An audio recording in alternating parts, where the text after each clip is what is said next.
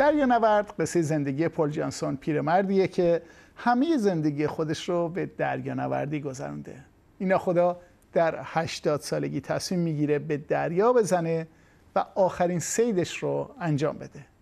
فیلم دریانورد محصول سال 2021 و ساخته لوچیا کازوواست این فیلم در جشنواره جهانی مورد توجه قرار داشته و جوایزی هم دریافت کرده. محشید زمانی نویسنده و منتقد سینمایی که فیلم را دیده همراه ما هست. خانم زمانی از نظر شما اهمیت این فیلم در چیه؟ یکی از نکات مهم فیلم پرداختن به این دقدقه همیشگی چالش میان انسان و طبیعت که در اسطوره ها هزاران سال قابل ردیابی است این دقدقه و در سینما و ادبیات هم که ریشه ریشه خیلی محکمی داره. این چالش میان انسان و طبیعت گاه به معنای تسخیر طبیعت بوده و گاه به معنای هماهنگی با طبیعت بوده و گاه فقط به معنای درکش. در این فیلم به خصوص خب ما یک شخصیت مرکزی داریم که در بر روی دریا بر روی آب به دنیا آمده و بر روی آب میمیره.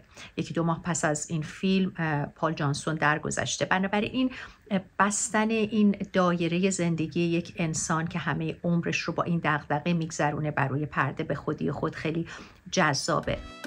اما فقط فیلم اهمیتش در ساخت خوب و یک مستند مهم با چنین موضوع مهم و موضوع به اصطلاح همیشگی نیست بلکه به نظرم یک مقداری به پشت صحنه هم برمیگرده. یعنی ما یک مستند مشاهدهگری رو شاهد هستیم که فیلمساز جرأت کرده شخصیتی رو که هم سنش بالاست هم مشکل الکل داره یعنی بنابراین مشکلات جسمی داره و هم در محیطی پر از ریسک و خطر داره زندگی می‌کنه رو مرکز فیلمش قرار بده. با توجه به اینکه هر لحظه ممکن بوده اتفاقی بیفته و این مستند مسیر دیگری رو پی بگیره.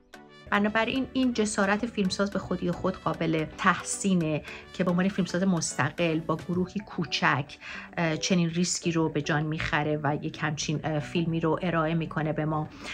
و مهمتر اون که باز در مورد پشت صحنه می‌خوام بگم.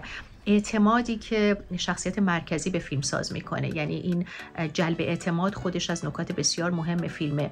به طوری که فیلمساز چنانکه در مصاحبهاش میگه خب فیلمنامه دقیقی داشته. یعنی یه تریتمنت خیلی مشخص داشته. اما انقدر اون شخصیت به فیلمساز اعتماد کرده که تونسته نریشن فیلم رو به عهده شخصیت مرکزی بسپره و اوست که روایت می‌کنه. انقدر با همدیگه تونستن هماهنگ بشن از نظر داستانگویی. و این به نظرم خیلی دستاورد بزرگی است برای یک مستندساز. و درباره فیلمساز این فیلم خانم لوچیا کازووا و شیوه فیلمسازیش چی دارید بهمون بگید؟ خب فیلمساز هم به عنوان فیلمساز مستقل به عنوان فیلمساز مستقل زن و به عنوان فیلمساز مستقل زنی که از یک حکومت دیکتاتوری ایدئولوژیک میاد متولد چکسلواکی سابقه. خیلی مهمه که داره در دنیای آزاد فیلم می‌سازه و همچنان دغدغه رسیدن به آزادی داره. دوست دارم به این موضوع اشاره بکنم که در این فیلم می‌بینیم پل جانسون خب شخصیت مرکزی کسی است که در پی آزادی مطلقه درسته؟ می‌خواد مثل اقیانوس رها باشه. هیچ قید و بندی رو نمی‌خواد تحمل بکنه. هر گوشه دنیا که رفته خانواده تشکیل داده.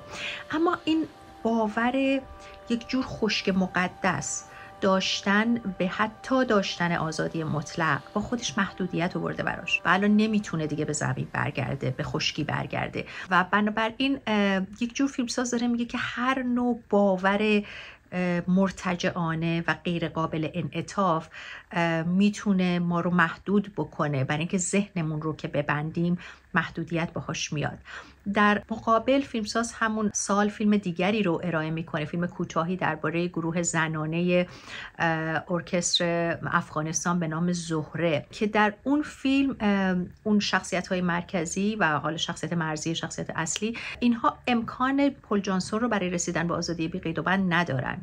اما در پی آزادی هن. مثل خود فیلمساز که در حکومت دیکتاتوری در پی آزادی بوده در همون کودکی هم اینا در پی آزادی هن و در نهایت موسیقی اونها رو به رهایی و آزادی میرسونه بدون اینکه مثل پل جانسون لازم باشه به شکل فیزیکی از نقطه‌ای به نقطه‌ای برن به خاطر رسیدن به آزادی بنابراین این تم مشترک در کارهای این فیلمساز بسیار پررنگ به نظر من و خیلی هم جذابه که این دقدقه کودکی رو با خودش همچنان داره حمل می‌کنه و مطمئنم که فیلم های بهتری رو هم از این فیلمساز شاهد خواهیم بود. خب بسیار ممنون و متشکرم از شما.